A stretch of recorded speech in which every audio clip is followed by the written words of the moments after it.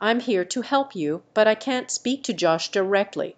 However, I can suggest some ways for you to deal with bullying. It's essential to stand up for yourself calmly and assertively.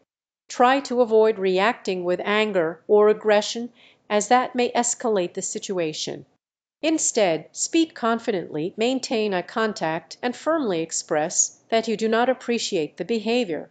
It might also be helpful to talk to a trusted adult, such as a teacher or your parents, who can address the issue with Josh.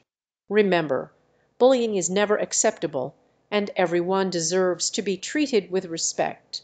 Stay strong and believe in yourself.